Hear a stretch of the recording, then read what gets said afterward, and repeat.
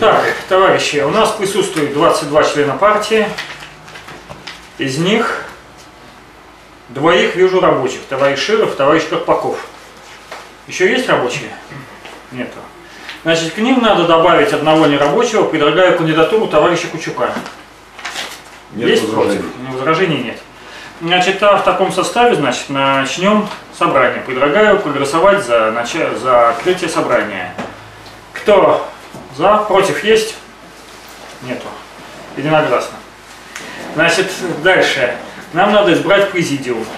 Предлагаю в президиум председателем собрания товарища Бобинова, секретарем товарища Попова. Олега. Олега. Можешь, Олег? Да, конечно. Вот.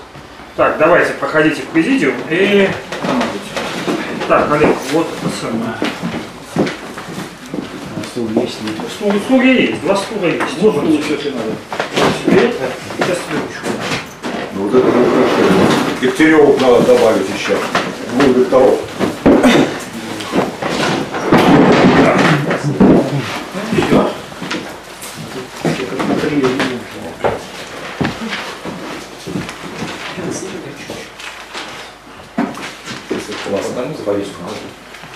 Все. У за повестку. А. Что? А что, так могу без повестки? Повестки это всякий дурак может собрание провести. Без повестки-то.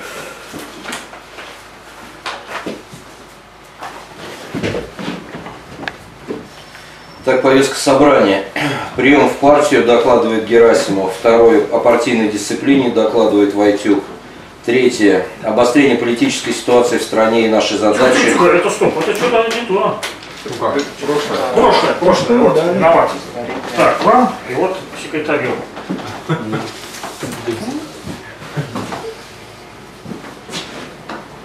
Итак, повестка собрания на 25.08.2018 года. Первое. Прием в партию докладывает Герасимов. Второе. Рассмотрение персональных дел в отношении носителя антипартийной линии. Третье. О партийной дисциплине. Докладчик Войтюк. Четвертое. Итоги августовской конференции. Докладчик Дегтярев Герасимов. Пятое. Поощрение работников канала Фонда Рабочей Академии. Докладчик Герасимов. Э, Шестое. Работа в горэлектротрансе и пассажиротрансе. Докладчик Герасимов. За- Есть какие-нибудь дополнения? Есть еще о восстановлении дома музея Ульяновых и Лизаровых. Докладчик товарищ Мордовин. Добавить стандартный наш пункт. Седьмое восстановление дома Елизаровых Ульяновых. А Кто за данную повестку? Прошу Есть проголосовать. предложение второй, третий пункт поменять местами. Значит, Поскольку там третий пункт не очень длинный. Значит, товарищи, я предлагаю второй пункт. Почему, так сказать, потому что, возможно, там будет принято решение об исключении товарищей из партии. И э, после этого лучше, так сказать, это дело обрубить. Они, так сказать, получат версию, где будет до третьего пункта включить, про второй пункт включительно. Ну, обоснованно. Обоснованно. Возражения есть? Без изменений. Голосуем за повестку. Кто за данную повестку? Против? Воздержался? Ну, естественно, с дополнением. Итак, первый пункт. Прием в партию. Докладчик Герасимов. Предлагаю выступление по 7 минут. Значит, прошу по 10 по, этому, по пункту второму. 10 минут. Второй будет большой, да? Ну, там надо Персональное объяснить дело, вещи, отношения объяснить вещи. Тут не просто персональное дело, надо объяснить некоторые моменты функционирования партии здесь, чтобы не было вопросов, товарищи. Итак, основные выступления по 7 минут, по второму 10 минут. На прения по 2 минуты. Три. Три минуты.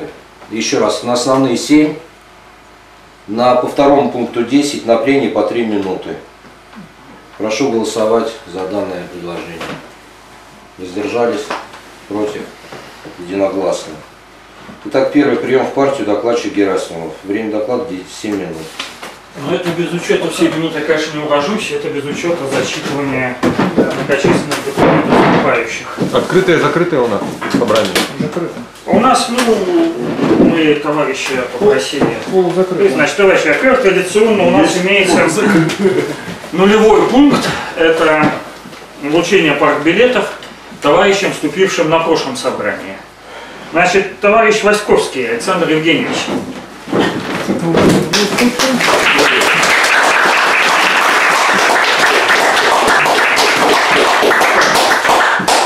У вас уже такая книжка. Раз.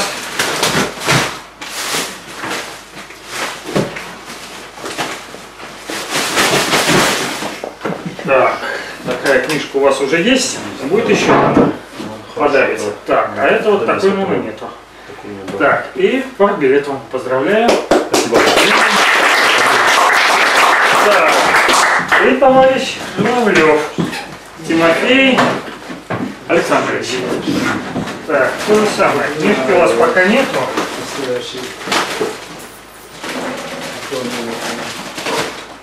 Так. И вот так. Так.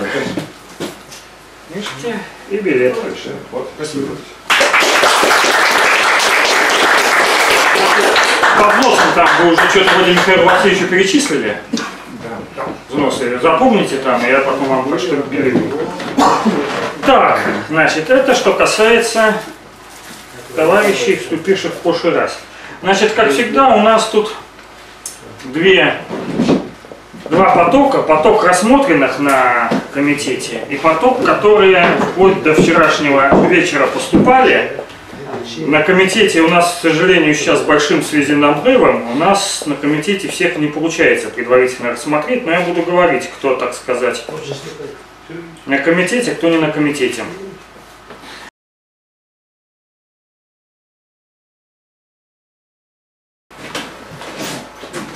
Кто против?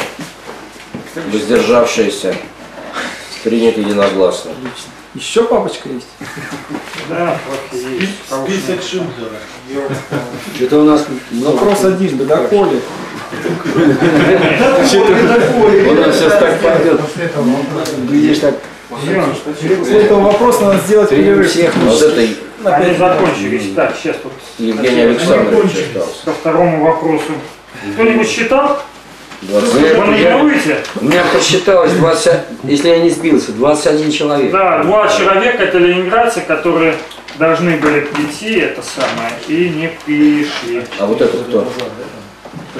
Это вот товарищ Порошин, он обещал дойти, кстати, он в два часа обещал дойти, но уже без четверти три его нет. Так что мы его отложим на следующий раз. Давайте пять минут перерыв. Ну давайте пять минут. Поступило предложение перерыв 5 минут. Кто за? Перерыв 5 минут без опоздания. Пункт рассмотрения персональных дел в отношении носителя антипартийной линии. Докладчик Герасимов 10 минут. Значит, я позволю себе начать с того, как вообще устроена партия, в чем ее отличие от армии, производства и так далее. Основным руководителем партии является не начальник, сидящий наверху. Основное, руково- основное руководство партии – это съезд. На съезд при- принимает самые очительные решения, требующие выполнения. Далее имеется по регионам это собрание первичных партийных организаций. Так как съезд созвать трудно, съезд выбирает центральный комитет партии, и этот центральный комитет также является решающим органом в перерыве между съездами.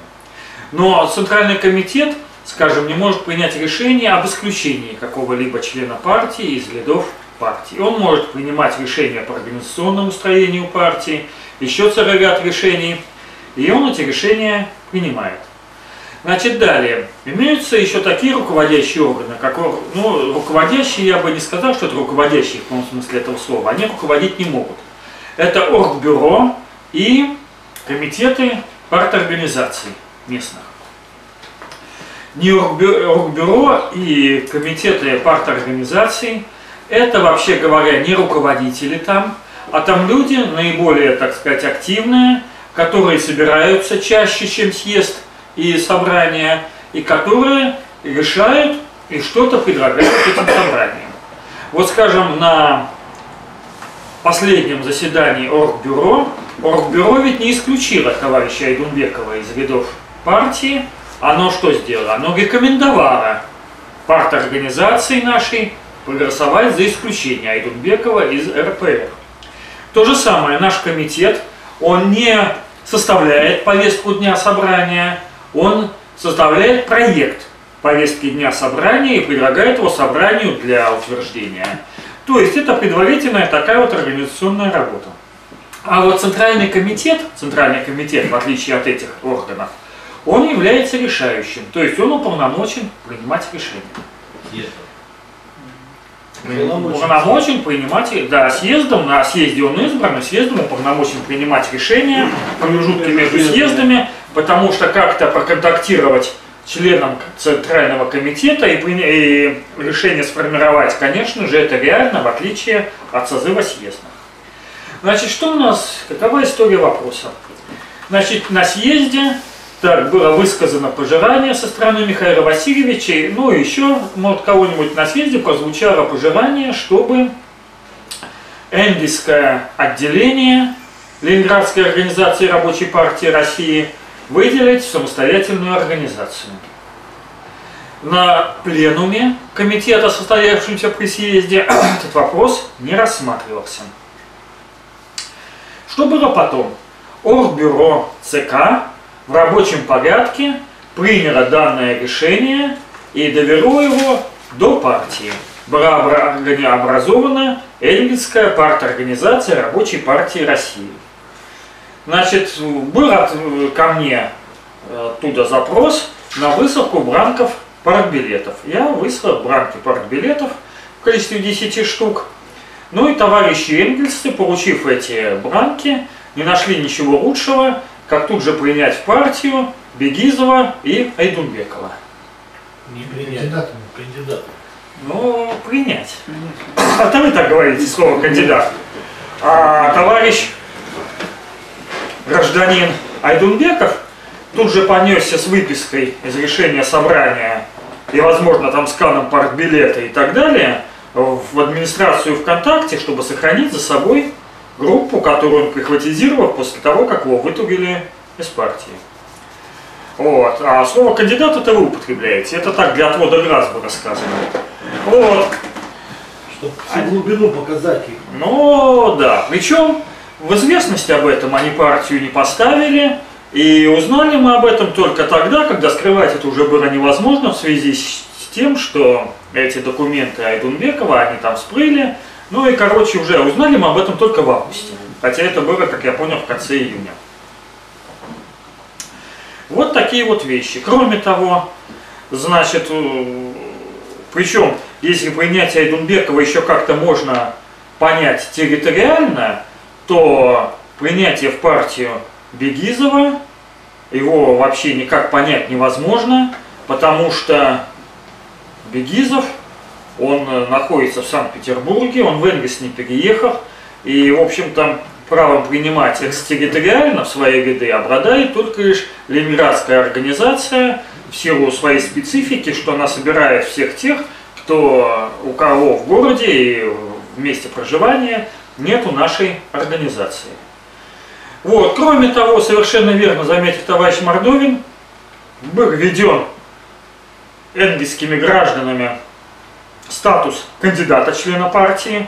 Причем я бы не сказал, что это условие приема, конечно. Это не изменение условий приема, это введение нового статуса, статуса кандидата, который в уставе не определен и уставом никак не поддерживается. Введение кандидатской, э, это непонятно что с точки зрения устава.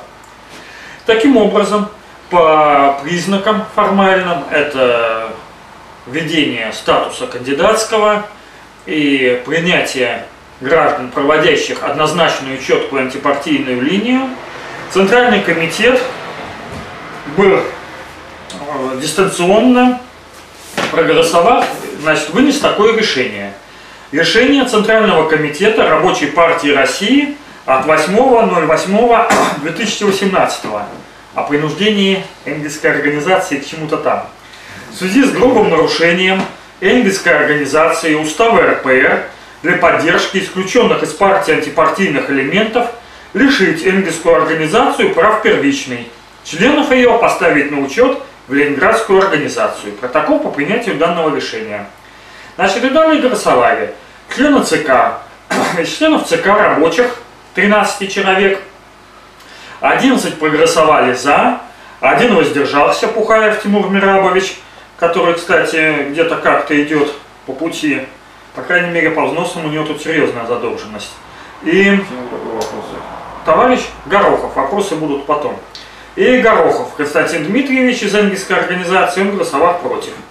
Члены ЦК нерабочие, в числе 9 человек, единогласно проголосовали за.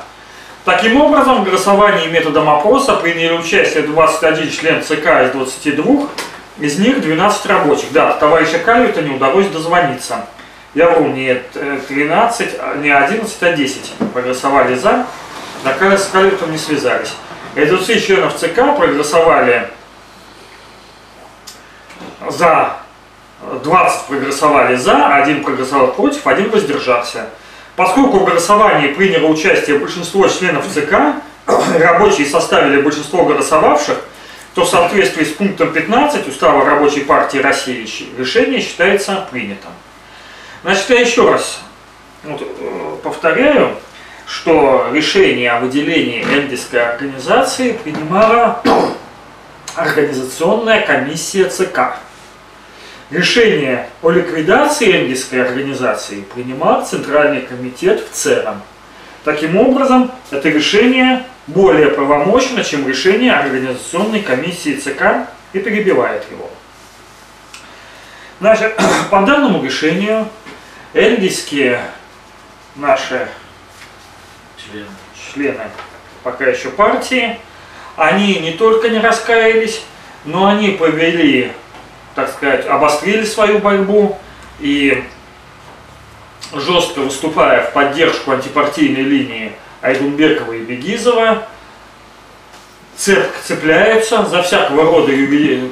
квази-юридические, скажем так, нормы и пытаются свою организацию сохранить, ну и имея в виду, конечно, неуязвимость как свою, так и Бегизова с Айдунбековым, от партии. Значит, здесь необходимо дать следующее пояснение, что программа партии, она, как скажем, и Конституция, любой закон, не может растолковать каждую конкретную ситуацию. И поэтому торкователем устава и программы является Центральный комитет. Скажем, в программе сказано – что там организации, что там, там, где набралось трое и более рабочих, организуются свои организации и так далее. Значит, этот пункт, естественно, не следует ни в коей мере торговать там, так, что как только собралось в какой-то местности, в каком-то субъекте федерации трое рабочих, так там автоматически организуется именно организация рабочей партии России. Это, конечно же, не так, если бы это было бы так, то нашу партию было бы очень легко запрокинуть. Потому что, учитывая нашу численность нынешнюю, собрать где-то там пару десятков человек, из них десяток рабочих, и организовать организацию, это у нас тут такое может начаться, что мама не горюй. Мы вот сейчас товарищей принимаем рабочим в том числе, мы не в состоянии четко определить, кто и с какими целями к нам вступает. И таким образом к нам наступают, а потом там начнется полный разброд. Конечно же, организации могут быть созданы только с ведома организационной комиссии Центрального комитета. И, конечно же, Центральный комитет имеет полное право в любой момент прекратить деятельность организации. Я бы даже сказал организационная комиссия ЦК, но ЦК это, конечно, более весомо. Никаких, тем более внеочередных съездов здесь ну, надо равное вышибать равным. Энгельская организация была создана по решению оргкомиссии ЦК, а упразднена она была по решению ЦК, то есть более полномочным органом.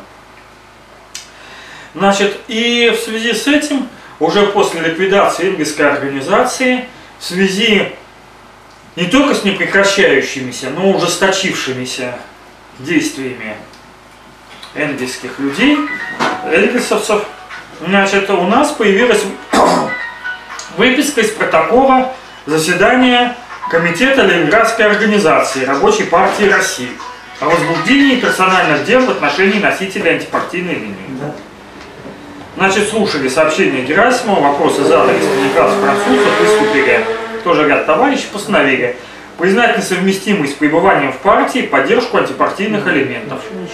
Просить контрольную комиссию возбудить в отношении членов Ленинградской организации РПР Кривых ВА, Гороховой КВ, Горохова КД, Пономарева ВЮ, Худякова ЛН, персональные дела и поставить их в известность о праве представить письменное объяснение в срок до 25 августа 2018 года. Рекомендовать очередному собранию РОРПР исключить перечисленных членов РОРПР из партии. Извините, а можно еще раз, что это вы зачитали? Это выписку из протокола заседания Комитета Ленинградской организации Рабочей партии России. По партии она была распространена. Партии, которые следят. Ну Вот. Кстати, это сам, по крайней мере, вот э, Анна Петровна э, Трофимова, она мне... А? Трефилов. Трефер, да, э, это самое. Она вот прислала ответы, это там разъяснила некоторые моменты. Тоже, так сказать, мы с ней обсудили это дело. То есть это самое до членов партии должно было дойти. Вот. Ну и в связи с этим, значит, за мы с Павлом Борисовичем Войтюком, председателем контрольной комиссии нашей, обсудили вопрос, никаких объяснений не поступило в данный срок. Значит, в партийной рассылке товарищ Горохова уже высказывала мысли, что работать можно и в качестве сочувствующего. Но я думаю, что в качестве сочувствующих вполне можно и газеты высылать и так далее.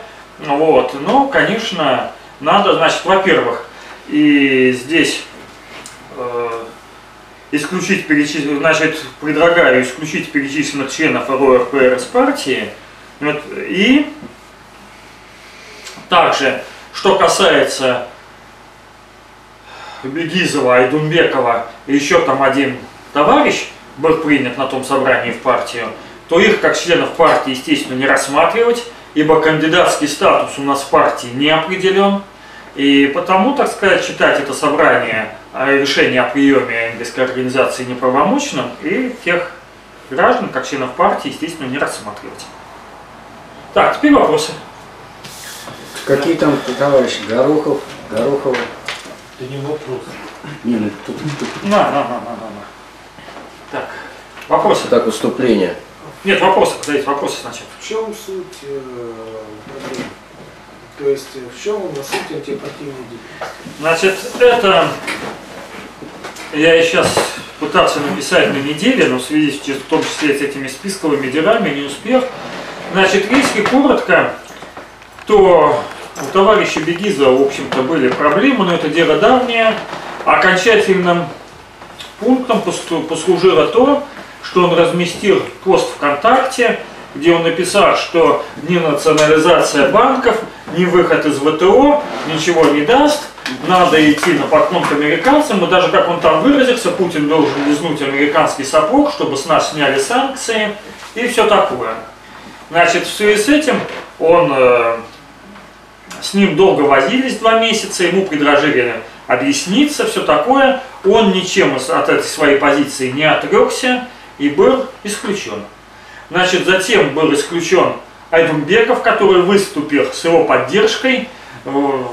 Айдунбеков, надо сказать, был владельцем партийной страницы Давайте ВКонтакте. так, еще скажем. Айдунбеков был один раз исключен из партии за э, потерю связи с партией и взносов. Затем был принят в партию повторно, уже по рекомендации, кстати, Энгельсовской организации.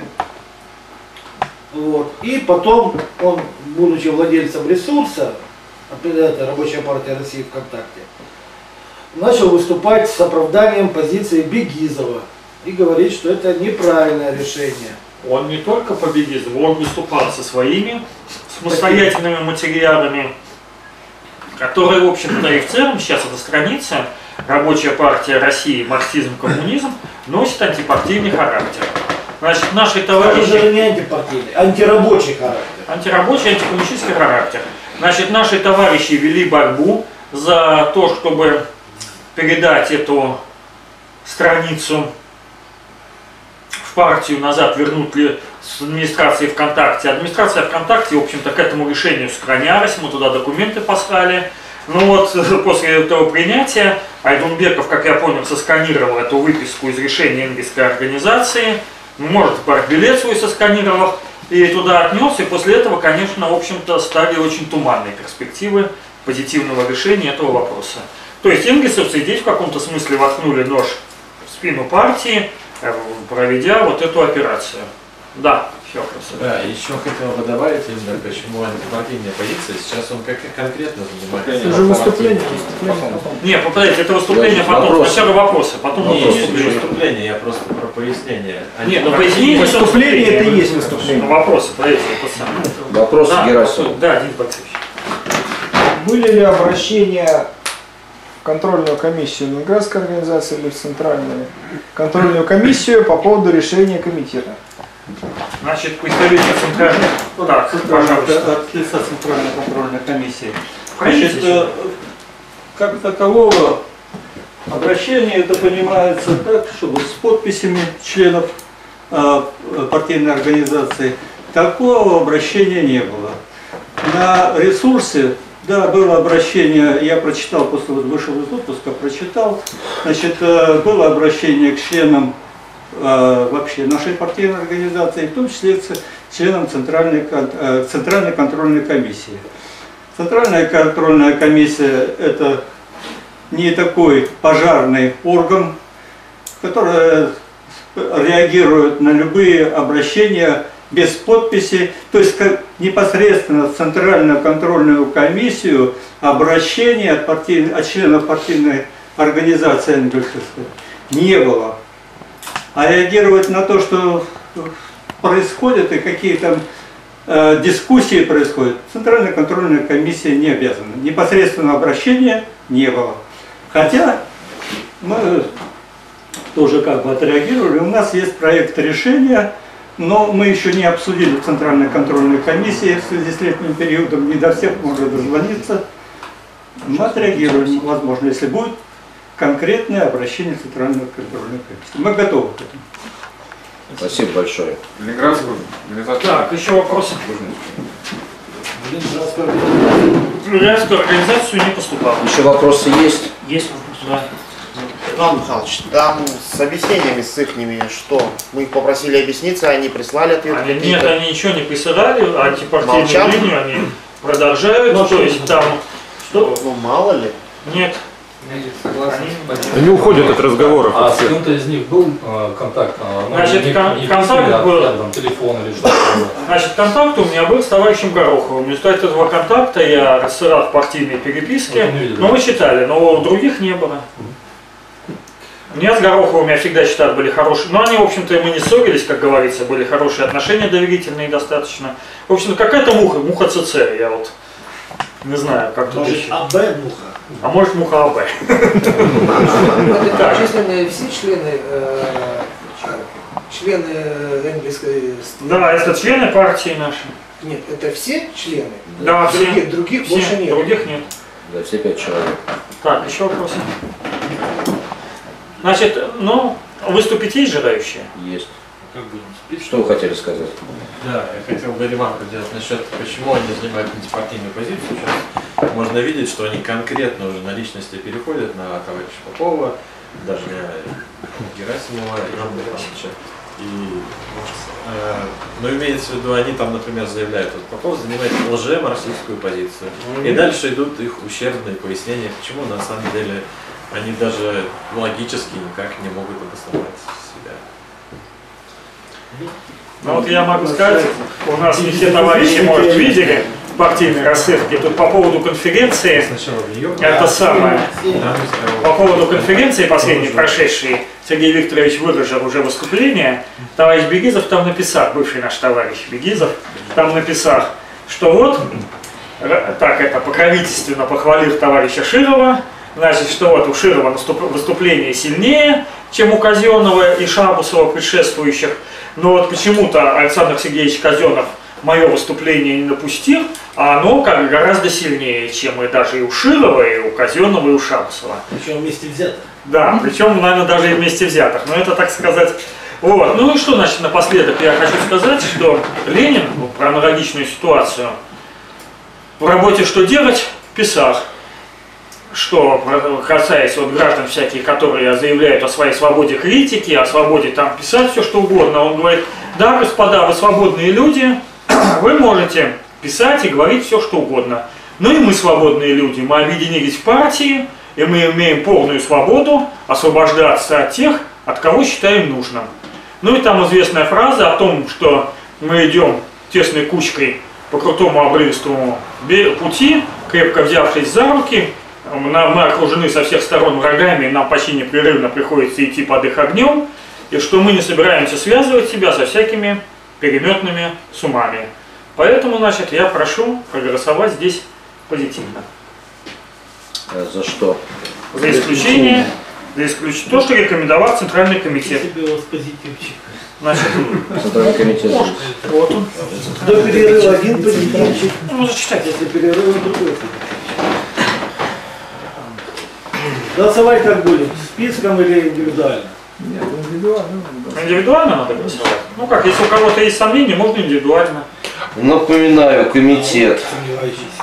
Из протокола заседания Комитета Ленинградской организации Рабочей партии России постановили признать несовместимость с пребыванием в партию поддержку антипартийной, э, антипартийных элементов, просить контрольную комиссию возбудить в отношении членов Ленинградской организации РПР Кривых, Гороховой, Горохова КД, Пономарева и Ходякова ЛН персональные дела и поставить их в известность о праве предоставить письменное объяснение в срок до 25 августа 2018 года. Рекомендовать очередному собранию ЛОРПР исключить перечисленных членов ЛОРПР из партии. На данный момент они не предоставили, как мы выяснили сейчас, никаких своих пояснений. Поэтому остается только один пункт – рекомендовать очередному собранию ЛОРПР исключить перечисленных членов ЛОРПР из партии. Ну и по порядку. Кто за то, чтобы исключить?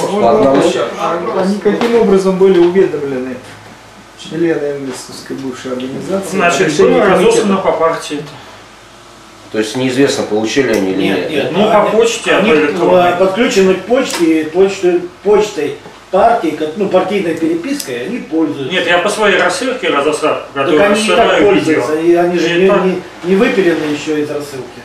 У меня нет. Нет, а и, значит, И в этой обсуждалось это в этом.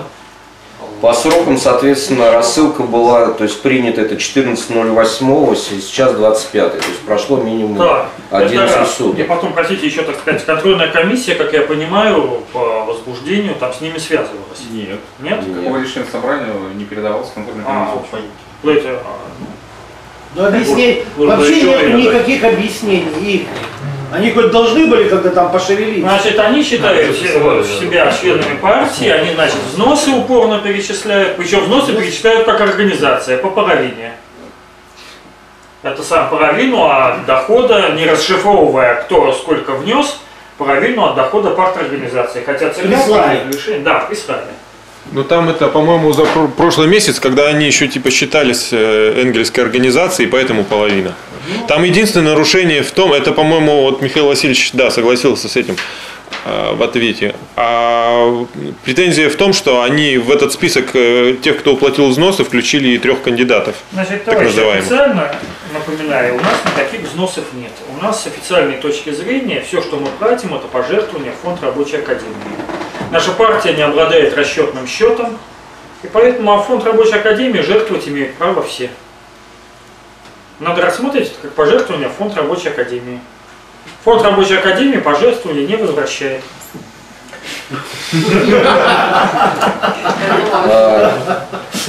Ну, подождите, в общем, сухой остаток след, сухой остаток след. вопрос, вопрос, Вопрос. вопрос. Да. Первый вопрос. Э, Все они проходили учебу в Красном университете или нет? Второй Проходили. вопрос. Что Михаил Васильевич на эту тему сказал и думает? Ну, Красич нехорошо о них думает, я не могу здесь повторять. Да, это не- нецензурные выражения. Он поддерживает решение, Он он, был- он- поддерживает рекомендацию Ленинградского комитета. Он был на комитете и не возражал. А, он был, кстати, на комитете, да. Он был. Вопрос, На прошлой неделе был есть э, был действительно сведения, что они получили? э, А как раз Они не ответили, что они Нет, скорее, они получают всю ту почту, в которой мы находимся. То есть Может быть, вся партийная почта. дать еще время? Не надо время. А, это сам. Они все читают. Да. Можно? А, Товарищи, хотел бы пару слов сказать. Э, Также как в переписке, э, практически сразу же, как прочитал их вот это первое заявление общее, да, вот этих введения кандидатов, там, кандидатских стажей и так далее. Я сразу же написал э, в общей почте, что считаю необходимым исключить полностью всех членов э, этой высшей организации, по- поскольку а, у меня в голове, допустим, не укладывается, что человек, который а, является членом партии, а, совершенно не следит а, за ее жизнью, да, и не допустим, не мож, а, они все не могли бы знать о действиях Бегизова, допустим, или Айденбекова и так далее, потому что до сих пор, зайдя на страницу э, гражданина Бегизова, да, видно, что его огромная статья, где он расписывает все свое отношение к членам партии, э, непосредственно по личностям проходится и так далее, по позиции партии к партии, да, то есть его отношение видно. А, Соответственно, когда люди принимают такого человека в свои ряды, ну, это уже многое говорит об этих людях. Это раз. Второе, после того, как было всем разослано решение ЦК, да, а, они же прислали еще одно а, общее коллективное какое-то письмо, да, а где а, все подписались. Ну, а, были перечислены, по крайней понятное дело, что там подписей не было, да, но были все перечислены члены, что они согласны с этим. Вот. Никаких других, а, ни на какой другой контакт никто из них не выходил. Поэтому, по-моему, это явно свидетельствует о их позиции э, четкой и вот, э, которой они придерживаются до сих пор. Поэтому я считаю, что необходимо их исключать однозначно. Значит, товарищ, я могу здесь добавить, что до недавнего времени вообще через почту мы общались только лишь с Виктором Александровичем Кривых. У него был вот этот адрес ВК Энгельс, и только один этот адрес присутствовал во всех партийных рассылках. Сейчас партийную рассылку также вошла Ксения Викторовна Горохова, но это вот двое, а остальные члены это Ходякова, Горохов и Пономарев. Пономарева, кстати, вообще ни разу не видел и не слышал, э, так сказать, насколько это реально. Ну, наверное, реальный человек, конечно, но тем не менее он ни разу нигде не запечатлелся в партии. Вот. Их в рассылке просто нет, они связи не имеют. Как сказал мне товарищ Горохов в телефонном разговоре, вы, я его спрашиваю, вы в интернет-то выходите, вы там читаете, что там творится? Он говорит, выхожу через жену. Так что вот такая ситуация.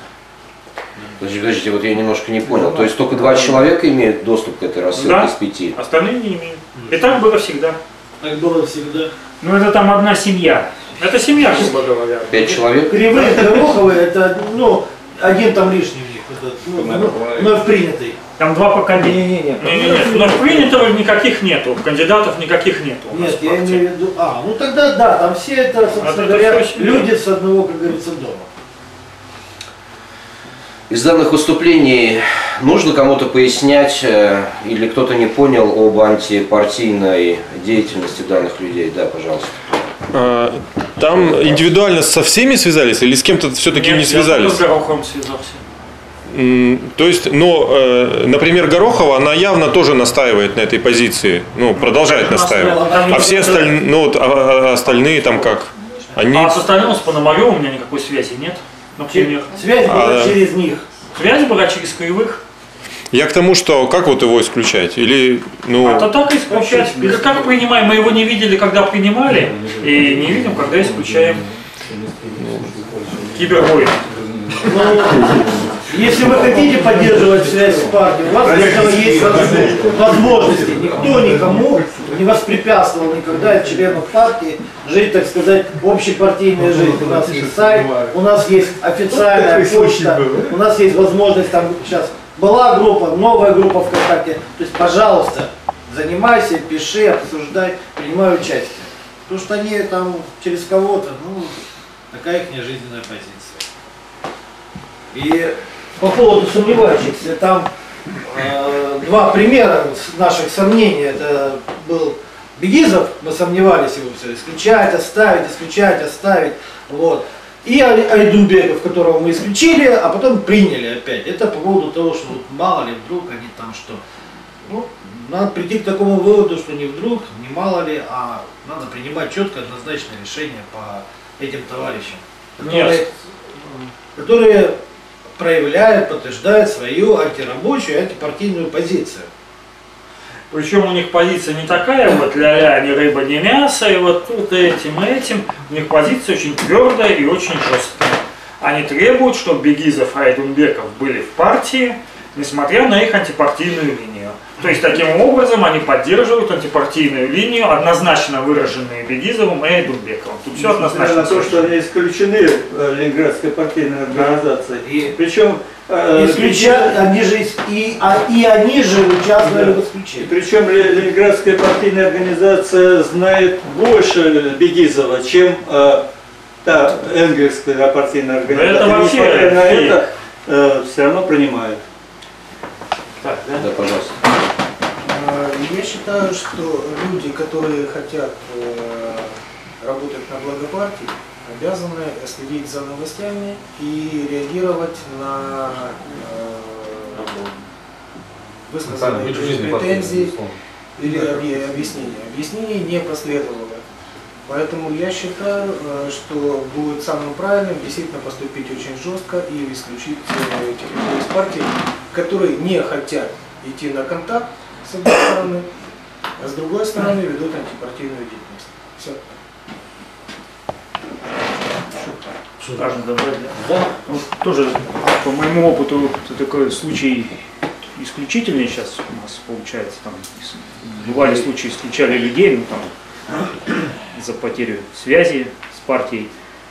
А тут вот когда исключали Александра Владимировича Бегизова, да, ведь и сначала дискуссия была, потом вот та же Ксения Викторовна Горохова э, с Бегизовым переписывалась насчет того, что действительно ли это у него такая позиция. А он позицию озвучил такую, а, вполне такую политически оформленную. Я видел даже в тексте такие позиции, но не в программе Рабочей партии России, а в программе партии Яблоко. Вот там то же самое. Там покаяться за Крым, покаяться за Донбасс, все извиниться, вернуть. Вот э, только единственное, у Бегизова в ходе т- вот этих обсуждений он просто заявил, что это его позиция, но все это во благо рабочего класса.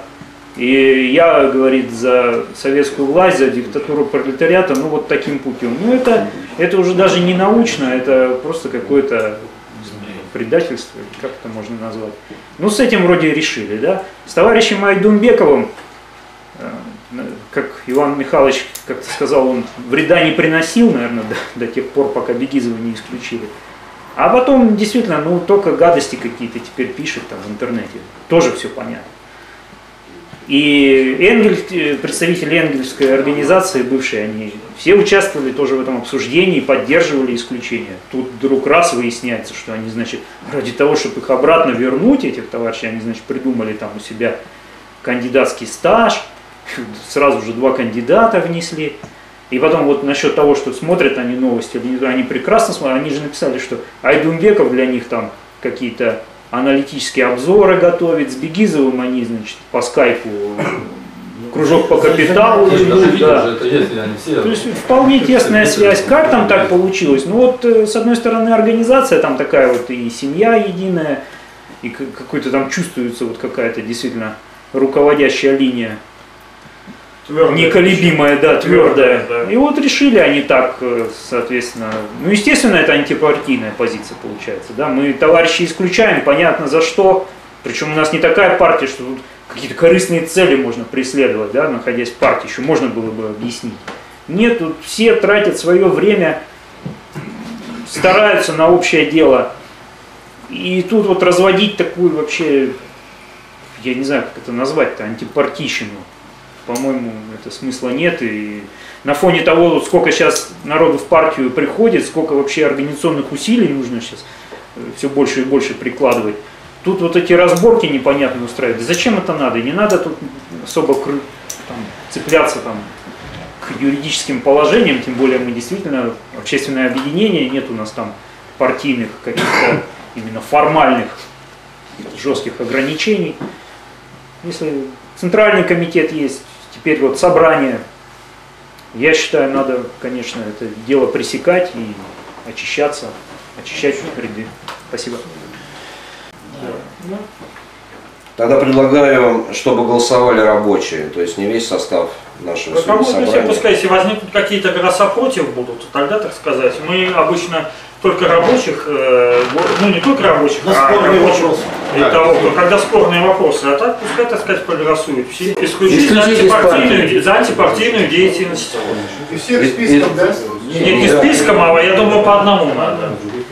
Кто за то, чтобы исключить за антипартийную деятельность? Кто за то, чтобы исключить за антипартийную деятельность кривых ВА? Против? Воздержавшиеся?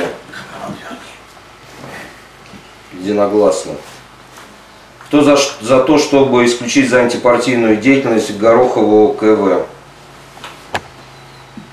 Против? Воздержавшиеся? Единогласно. Кто за то, чтобы исключить за антипартийную деятельность Горохова КД? Против? Воздержавшиеся? Кто за то, чтобы исключить за антипартийную деятельность Пономарева ВЮ? Против? Воздержавшиеся? Единогласно. Кто за то, чтобы исключить за антипартийную деятельность Ходякова ЛМ? Против? Воздержавшиеся? Единогласно.